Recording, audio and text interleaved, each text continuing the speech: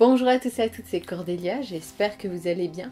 Et aujourd'hui, euh, nous allons pas parler euh, d'un livre en particulier, mais euh, il se trouve que j'ai été contactée il y a pas très longtemps par Audible pour tester le livre audio, chose que je n'avais jamais testé jusqu'à présent. J'ai été grandement intéressée. Alors au début, on m'a proposé la série Outlander que j'avais pas tellement apprécié en fait en, série. Donc je demandais autre chose et j'ai donc eu la possibilité de choisir dans le catalogue et je peux vous dire que je me suis fait plutôt plaisir. Pour ne rien vous cacher, j'avais choisi euh, Les Petites Reines de Clémentine Beauvais, Arrête avec tes mensonges de Philippe Besson, Frappe-toi le cœur d'Amélie Tombe, Songe à la douceur de Clémentine Beauvais. Et là, j'ai téléchargé Ta deuxième vie commencera lorsque tu comprendras que tu n'en as qu'une, quelque chose comme ça, que j'ai pas du tout encore euh, écouté.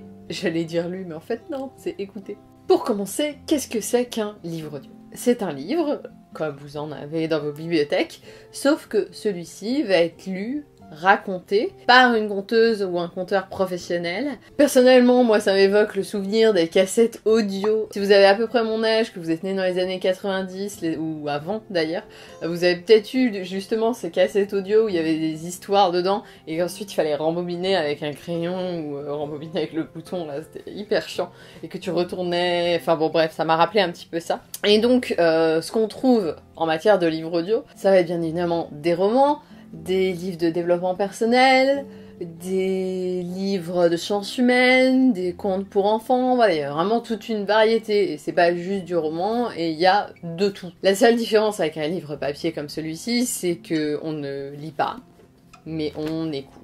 Qu'est-ce que c'est Audible? Alors, c'est une marque qui est une filiale d'Amazon qui se traduit dans une application euh, sur téléphone, euh, aussi sur tablette ou sur ordinateur. Et Audible propose tout un catalogue de contenus audio parlé euh, ça va être des livres, mais il y a aussi des podcasts. D'ailleurs, l'un de mes podcasts préférés, euh, qui est Transfert de Slate, est disponible sur Audible. C'était la petite anecdote qui sert pas à grand chose. Vous allez faire votre choix sur le site d'Audible. Il y a la possibilité notamment d'écouter un extrait. Euh, je reviendrai dessus, mais c'est quand même vachement important de pouvoir écouter un extrait et de pouvoir écouter donc la voix qui va vous raconter l'histoire pendant un certain temps. Et lorsque votre choix est fait, vous allez pouvoir euh, euh, l'acheter de différentes manières, je vais vous expliquer après, et vous le téléchargez sur votre application et vous pouvez l'écouter tout simplement quand vous voulez. Petit point, dans cette vidéo je vais aborder que le livre audio, euh, mais bon il y a d'autres contenus type podcast par exemple. La première question que je me suis posée c'est est-ce qu'il y a réellement le choix? J'avais peur d'avoir à faire un catalogue hyper restreint et au final de pas y trouver mon compte.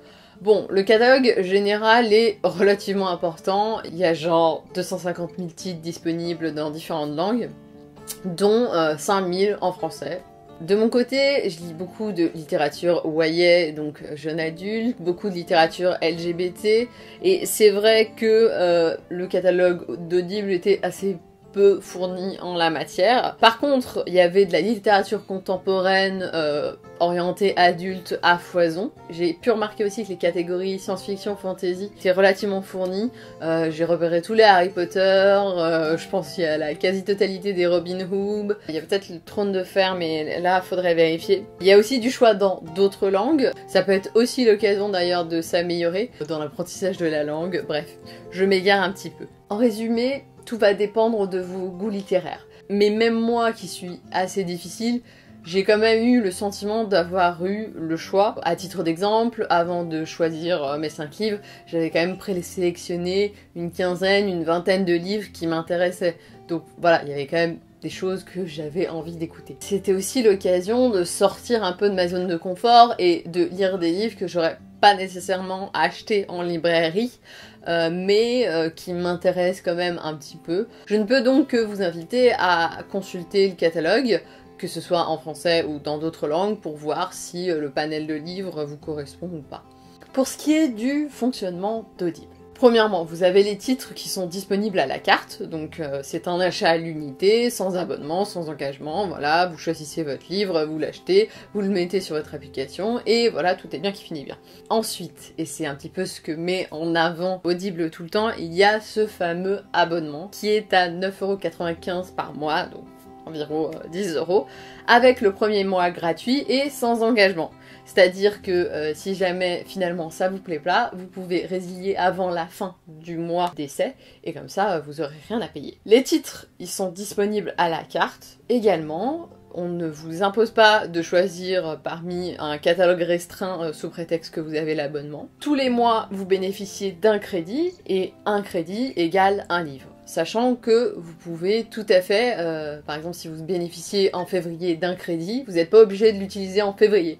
Pouvez attendre le mois de mars pour l'utiliser. Euh, en fait, c'est comme une petite cagnotte où vous pouvez accumuler jusqu'à 6 crédits et euh, vous les utilisez un petit peu quand vous voulez. Si vous voulez télécharger 0 livre euh, au mois de juin et 2 euh, livres au mois de juillet, il n'y a pas de souci, c'est pas un problème. Faut savoir que le livre audio c'est quelque chose qui coûte assez cher à l'unité, c'est entre 15 et 20 euros, et vous comprendrez tout de suite pourquoi lorsque vous imaginez que bah il y a une personne qui doit prendre un livre, et euh, le lire phrase par phrase et ça prend un certain nombre de temps et ensuite faut mixer tout ça etc. Ce qui fait qu'il y a un coût de production qui est conséquent et qui se répercute forcément sur le prix du livre. Ce qui m'amène donc à vous dire que l'abonnement est vite rentable puisque c'est 10 euh, euros par mois et que vous pouvez l'arrêter quand vous voulez. Et il faut savoir qu'une fois que vous avez téléchargé euh, votre livre audio sur votre téléphone, votre application, sur votre ordinateur etc. Il reste toujours dans votre bibliothèque, y compris si vous n'êtes plus abonné euh, à Audible. Voilà, vous l'achetez, vous l'avez et euh, vous l'avez toujours. Il n'y a pas de tout d'un coup il disparaît. J'en arrive à ce que vous attendez euh, sans doute depuis le début de la vidéo, mon expérience du livre audio. Depuis quelques mois, je suis une grande fan de podcasts. Quand je cuisine, avant de dormir, quand je travaille sur des tâches qui sont un peu répétitives, quand je suis dans le métro, quand je marche, quand je prends le train. Si j'avais mon permis, je pourrais les écouter dans la voiture. Bon, euh, j'ai pas de permis j'ai pas de voiture, donc je ne le fais pas, mais si j'en avais, euh, je pourrais. C'est comme la radio, et d'ailleurs les podcasts sont souvent issus d'émissions radio qui ensuite sont mis en ligne sur internet, mais en mieux parce que tu choisis quand est-ce que tu l'écoutes et surtout ce que tu écoutes et à quelle heure. Étrangement, j'avais aucune expérience du livre audio euh, avant ce test. Je lis sur papier, je lis sur liseuse, de manière, enfin voilà, sans distinction. Mais le livre audio, à part les cassettes de quand j'étais petite d'Emily Jolie, j'en avais pas l'expérience. Lorsque j'ai parcouru le catalogue d'Audible, vous verrez, ils mettent le temps en fait d'écoute et j'avais peur que ce soit extrêmement long. Et là, on arrivait sur des titres, euh, ça pouvait durer 5 euh, heures, 6 heures, 20 heures, 30 heures, et j'étais là, mais jamais j'aurais le temps d'écouter ça. C'est pour ça que mon premier choix euh, s'est porté sur un roman jeunesse qui était plutôt court parmi le catalogue, donc avec que 6 heures, que d'ailleurs j'avais envie de lire depuis longtemps et dont on m'avait beaucoup parlé, c'était Les Petites Reines de Clémentine Beauvais. Alors, outre le fait que j'ai adoré l'histoire, et je vous en parlerai dans un bilan lecture, j'ai surtout adoré écouter ce livre.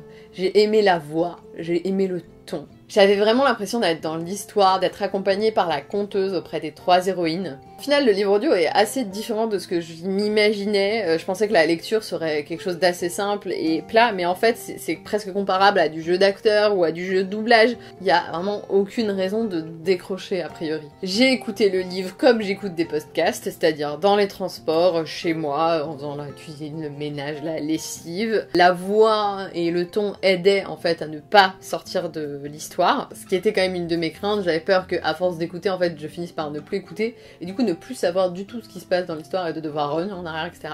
Après ça, ça doit dépendre du compteur et de votre affinité avec la voix. Mais en tout cas, avec ce livre-là, ça n'a pas eu lieu. J'ai même écouté avant de dormir, et je me suis d'ailleurs euh, endormie. Hein. Heureusement qu'il y a un chapitrage, hein, pour pouvoir venir un petit peu en arrière, parce que voilà, voilà.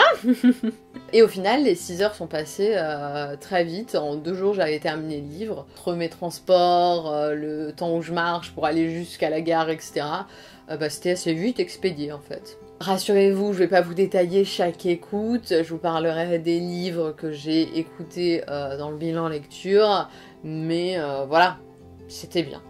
Ce que je dirais en résumé, c'est que c'est hyper pratique. Le fait de pouvoir l'avoir sur son téléphone, ça fait qu'on le transporte partout. Euh, par contre, attention, hein, la batterie. Même si l'appli, elle est pas forcément gourmande en énergie, il suffit que vous soyez sur internet en même temps, etc. Et euh, vous êtes vite à court de batterie, donc euh, bon, comme d'habitude, hein, pensez à la batterie portable. Vous pouvez les écouter au casque, aux écouteurs, ou si vous avez des haut-parleurs, ou une chaîne IFI, ou je ne sais quoi, ça peut marcher aussi. Je trouve que c'est hyper pratique dans les transports parce qu'il n'y a pas besoin de sortir son livre, il n'y a pas forcément besoin d'être assis pour pouvoir être confortable et pouvoir lire le livre. Pour le coup, euh, que tu prennes trois lignes de métro différentes, etc., tu le ranges, machin, etc. Et puis, il n'y a pas cette frustration aussi de, euh, bah, tu sors du ton RER et puis ensuite, à 10 minutes de marche, mais tu vas pas lire comme ça euh, dans la rue parce que sinon, soit tu marches dans les crottes de chien, soit tu te prends les gens dans la rue. Et du coup, tu peux continuer à écouter si l'histoire est intéressante, si t'as pas fini ton chapitre, etc. Et ça, ça m'a beaucoup, beaucoup plu. Par contre, pour ma part, l'écoute, c'est plus lent que la lecture. Faut savoir que je suis quelqu'un qui lit extrêmement euh, rapidement, donc les livres que j'écoute euh, me prennent beaucoup plus de temps euh, que les livres que je peux lire avec les yeux. Mais c'est une expérience qui est différente et bah, de toute manière, les deux sont pas forcément incompatibles. On peut lire dans son lit, et ça j'ai trouvé ça bien, y compris la lumière éteinte, puisque bah du coup on écoute. C'est pas si cher que ça, notamment avec l'abonnement. Si on regarde notamment le rapport temps de lecture prix, que genre, si t'achètes un livre à 10 euros et que ça te fait 35 heures, en vrai, ça va, c'est plutôt rentable, je trouve. Pour moi, je sais que ça resterait un moyen de lecture ponctuel et complémentaire de euh, ma lecture euh, sur livre papier ou ma lecture sur liseuse. Alors oui, on n'a pas le livre papier dans ses mains et on ne le met pas dans sa bibliothèque, il n'est pas joli dans la bibliothèque. Mais euh, personnellement, j'étais déjà passée au-delà de ça avec les livres électroniques. J'ai énormément de livres électroniques. Euh, ma bibliothèque euh, sur ma liseuse est extrêmement fournie. Et voilà, c'est pas grave de ne pas les avoir dans ma bibliothèque. Et de toute manière, je lis tellement de livres que mes trois bibliothèques ne suffisent plus et qu'il faudrait presque en racheter une quatrième. Quoi. Donc voilà. Je termine en évoquant les questions d'accessibilité, parce que évidemment, pour les personnes qui sont malvoyantes, pour les personnes qui sont aveugles, peuvent avoir des difficultés de concentration, des difficultés de lecture, voire qui euh, ne savent pas forcément lire, et bah le livre audio, c'est euh, la solution pour quand même avoir accès à différents livres ou différents podcasts comme on l'a vu. Et ça, c'est hyper important parce que je trouve que tout le monde devrait pouvoir avoir accès à des livres, à la lecture. Et le livre audio permet de pallier à un certain nombre euh, de problèmes d'accessibilité euh, des livres. Je termine la vidéo avec quelques petits conseils. Faites attention à la voix. Vous avez la possibilité d'écouter un extrait avant de télécharger le livre. Vraiment, faites-le parce que il y a des voix, pour certaines personnes, ça va pas, ça va pas matcher en fait. On va pas avoir envie d'écouter, on va décrocher.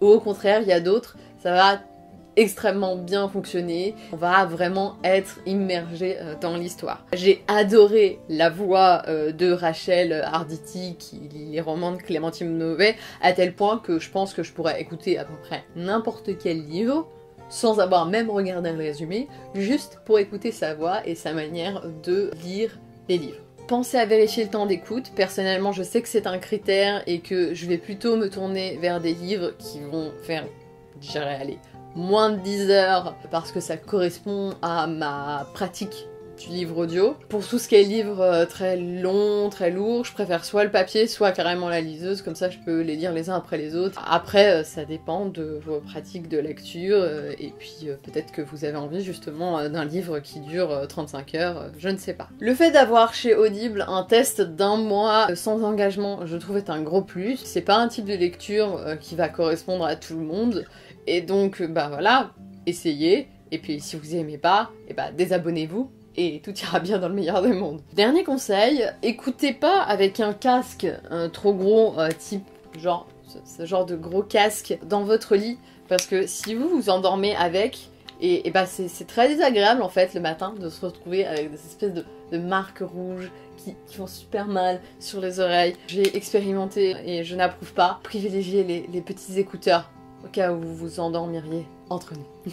J'en ai terminé avec ce retour d'expérience du livre audio euh, avec Audible. J'espère que ça vous a donné envie peut-être de tester vous aussi cette méthode de lecture. En tout cas, euh, je vous souhaite à tous et à toutes une très bonne journée et on se retrouve très vite pour de prochaines vidéos. Et n'oubliez pas, comme d'habitude, de vous abonner, de partager, de mettre un pouce vers le haut, de mettre un commentaire, c'est très important. Voilà, voilà, je ne vais pas vous le redire 15 000 fois. Mais bye bye